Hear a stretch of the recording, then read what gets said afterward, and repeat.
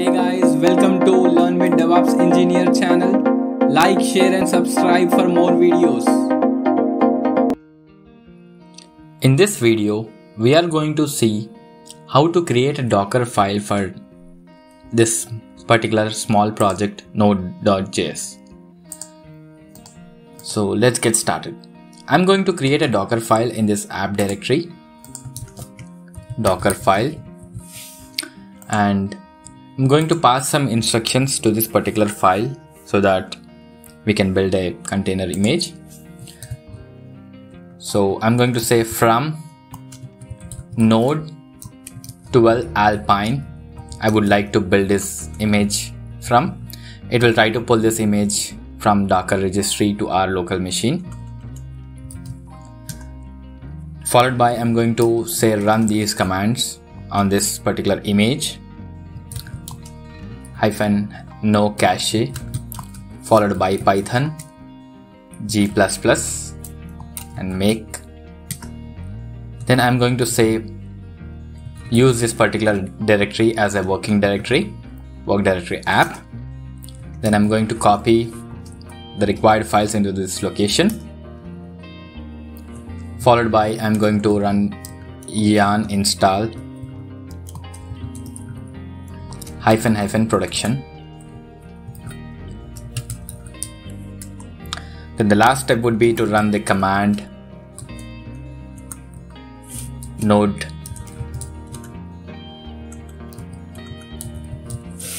Comma. I'm going to run the index.js script within this image so that we can access the application using the local host so you can see the structure of this project. This is how it looked like. We do have like index.js script and we can add delete get items all these things we can do achieve with this project. So i'm going to save this particular docker file and let's try to build this docker file now. To build this docker image using this docker file i'm going to run this particular command docker build space hyphen t tag getting started is the image name space dot to look for the docker file in this particular location. So we do have like docker file in this app folder. And it is like running now the it is like trying to build this docker image for us. Once the build is like completed we can run. It will try to run all these instructions which we have provided.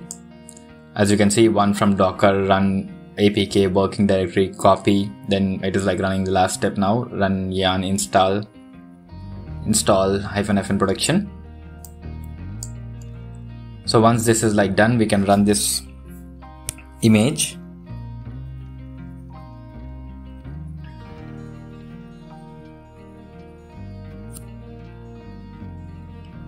this will take like few more seconds to build.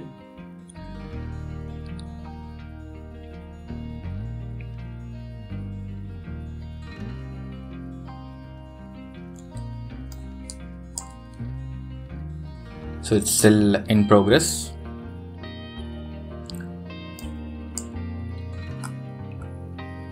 Once this is like finished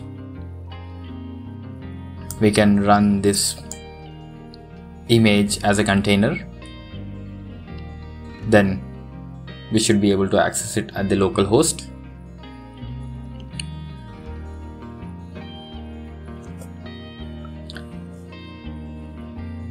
Okay uh, we've successfully built the image. Now I'm going to run this particular image. To run that I'm going to run this particular command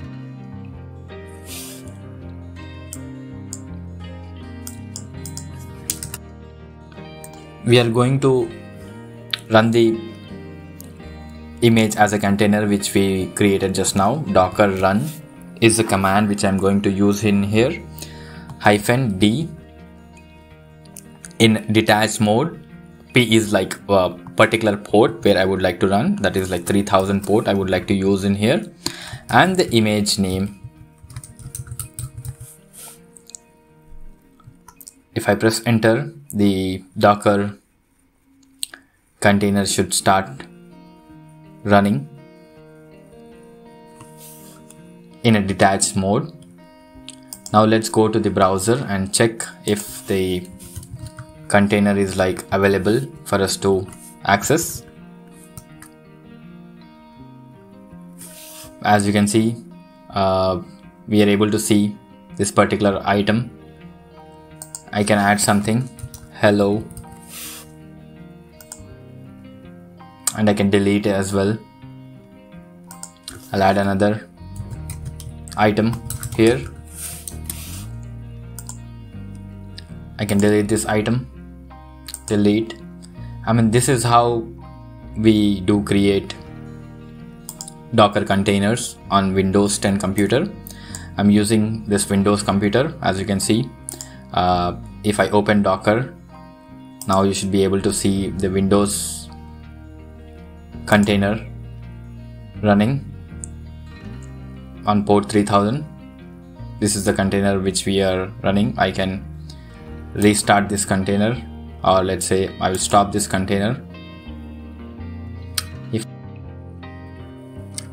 I'm going to start this container using docker desktop now let's click on start. As you can see the container is like up and running now. Let's go to the browser and try to check reload. Okay this is like running. So I'm going to add something here once again.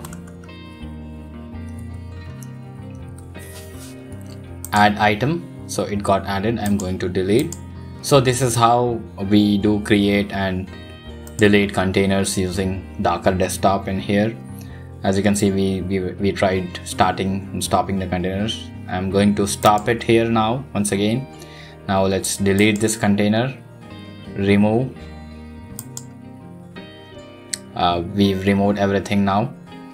So that's it for this video